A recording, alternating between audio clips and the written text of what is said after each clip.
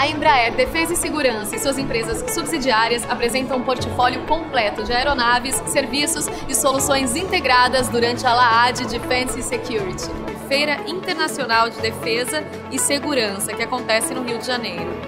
O evento marca o início das comemorações do aniversário de 50 anos da Embraer.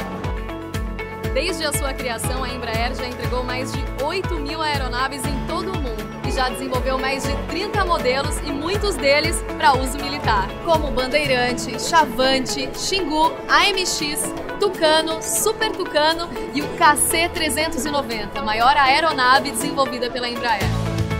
O grande destaque do evento é a divulgação do consórcio Águas Azuis como fornecedor para a construção das quatro corvetas da classe Tamandaré.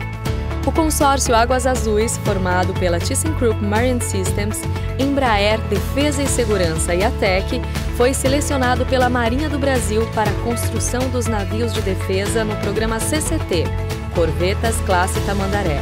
O resultado foi anunciado no dia 28 de março e representa um novo marco para as indústrias de defesa e naval do país. Durante a LAAD, a Embraer também promove a moderna aeronave de transporte multimissão KC-390 e o Super Tucano, a aeronave de ataque leve e treinamento avançado. Além de sua linha completa de sistemas integrados, aplicações de comando e controle, radares e espaço.